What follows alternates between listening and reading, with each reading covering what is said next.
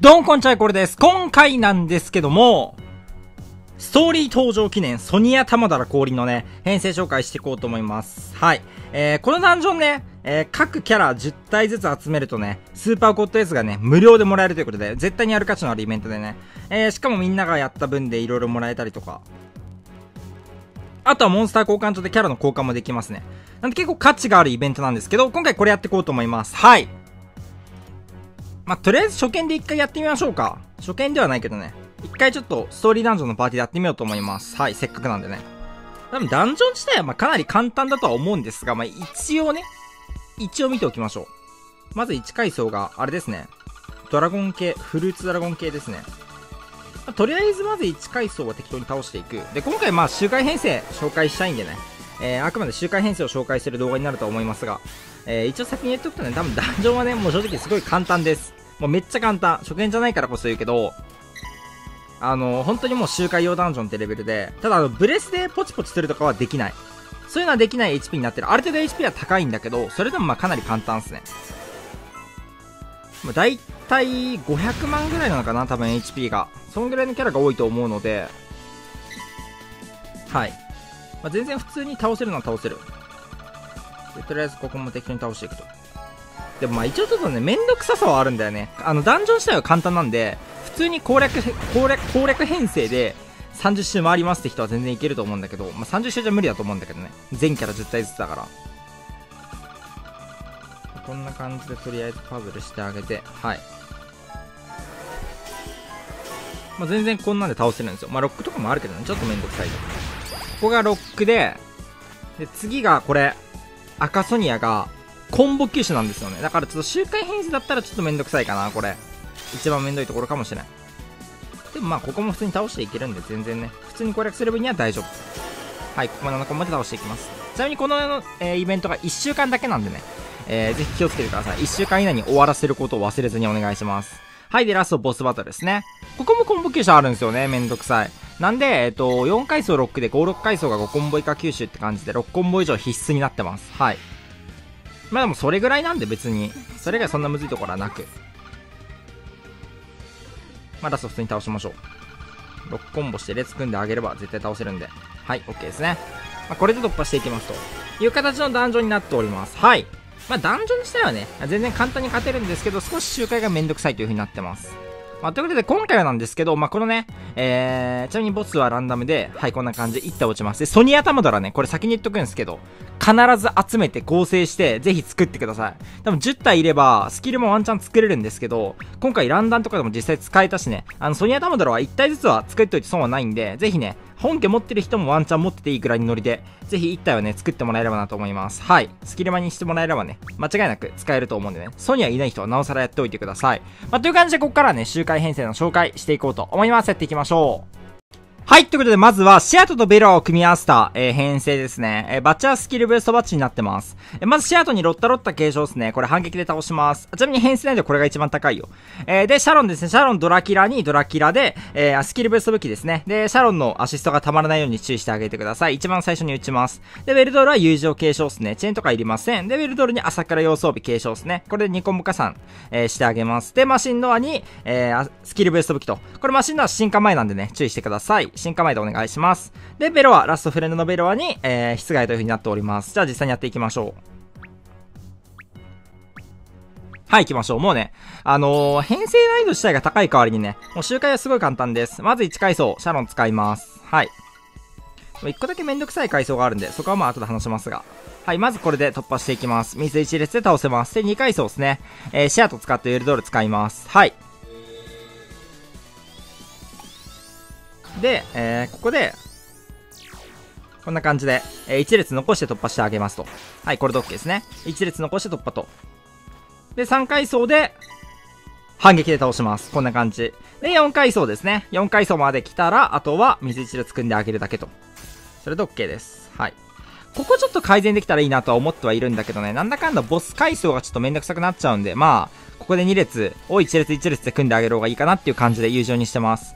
で、ここは朝倉陽からのノア使ってあげて、花火で突破と。これで3コンボ加算。ベラーの3コンボ加算と朝倉陽の2コンボ加算で6コンボ。ちょうど倒せます。はい、ちょうどワンパンですね。で、ラスト、ベロアに継承してる、えー、まあ、室外とか、あとはまあ、えっと、ココフェルケナとかですね。何でも OK です。水を9個以上作ってくれるキャラですね。水を9から30個の間で、えー、消せるキャラを継承してあげて、これで突破していくと。もちろんココフェルケナでも問題ありません。はい。で、ベルアのリーダースキルだけ発動してあげれば、こんな感じで突破できますという風になっております。はい。まあ、こんな感じで周回できるんで、まあ、ストレスなく、えー、簡単に周回できるかなって感じで。で、これでだいたいタイムが、はい、79秒ですね。まあ、だいたい80秒ぐらいで周回できるって感じの編成になっております。えまずはこれが、えー、シェアとベロア編成になります。次行きましょう。で、続きまして、オメガオメガ編成ですね。まあ、これに関しては、えっと、バッチも完全自由です。はい。えー、まずはオメガですね。オメガに HP50 倍化強化武器ですね。まあ、これに関しては別に何でもいいんで、適当な HP50 倍化強化武器で。で、カラクリゴエモン進化前ですね。えー、6解除プラス非生成のえー、カラクリゴエモンで、で、アサシンですね。アサシン無課金キャラなんで採用してますが、チョコラブでも OK です。で、カラクリゴエモンですね。はい。で、最後にまたこれチョコラブですね。はい。えー、まあね、えっと、花火からの6コンボを組んであげたいので、えー、今回は真ん中2列演歌の2体採用してますが、まあ、そうだな、一応別に6コンボを組めるキャラなら何でもいい。まあ、例えば、不動明とかですね、転生不動明とかにしてもらって、えー、キー作ってもらってね、で、あのー、ずらしで4コンボ組んで2コンボ加算で6コンボとかでもいけるんでね。まあ、適当なとにかく花火からの6コンボ組めるスキルをね、えー、入れてあげてください。それで OK です。はい。で、まあ、フレンドに関しては、えー、HP50% 以下強化武器をつけたオメガとかで OK ですね。やっていきましょう。まず1階層から。はい。まあ、いろいろしてくるんですけど、こんな感じで、おっと闇残してあげれば OK です。はい。闇1列分残してあげてください。これで倒していきます。で、2ターン目。残った闇1列で突破していくと。はい。これで OK ですね。突破していきます。まあ、最悪 HP50% 以下武器なくてもどうにかなるんだけど、全然。ちょっと火力計算がまだ不安なんで、一応ありにしてます。で、3階層。こうこんな感じで消してあげて突破していきます。はい。で、火の1コンボ残ってればいいんでね。めんどい場合はこんな感じをずらしても大丈夫です。で、4階層。火の1コンボで突破していきます。闇だとね、ちょっと怖いんだけどね、2階層とか、闇だと抜けないけどね。多分1、2、3、4全部火の1コンボで抜けるんで、なんだかんだそんな感じでいけると思います。はい。で、5階層まで来たらね、カラクリゴヨモンからのアサシン使ってもらって、はい、これで、こうですね。この組み方してもらって6コンボと。これで OK です。この6コンボで倒していきます。で、ラストボスもカラクリゴヨモンからのチョコラブですね。まあ、無理やりにもう6コン盤面を作ってあげて突破していくという編成になっております。まあちょっと編成内容低くはなっているかなって感じなんでね。まあめんどくてもいいよって方はこんな編成でも全然周回できるんで、ぜひ周回してあげてください。はい、これで終わりですね。はい、こんな感じで突破していく編成となっております。一応タイム見てみようか。さすがにこの編成はタイムは遅めかな、明らかに。パズルが多いからね。はい。いいね、玉だろ落ちるの。ありがたいね。えー、っと、クリア履歴。はい。これで、ね、だいたい88秒ぐらいですね。まあ、それでも結構早めに周回できてるんで、ちょっとめんどいけど、オメガ編成になってます。はい。はい、こっから最後にね、ルルナ編成紹介していこうと思います。ライダーが考えてくれた編成ですね。えー、まあ、ルルナが3コンボ加算持ってくれてるんで、超楽に周回できます。まあ、見ていきましょう。はい。えー、この編成のいいところとしましては、ごめん。この編成のいいところとしては、えー、完全にね、えー、ずらすだけなんで、超楽です。まあ、その代わりちょっと時間かかるかなって感じで見ていきましょう。まず1階層リーダー使います。はい。で、ずらしてあげれば OK です。あ、別にこれね、あのー、コンボ数とか気にしない人だったらね、ずらせばいいだけなんで。はい。で、2ターン目。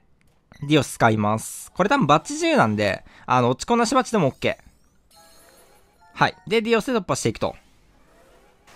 で、3ターン目ですね。ここルルナだと反撃で倒せんのかな？ちょっとわかんないけど、倒せるならディオスの場所エルドールに、えっ、ー、と、ロッタロッタでもいけると思うんだけど、ちょっと微妙かもしれん。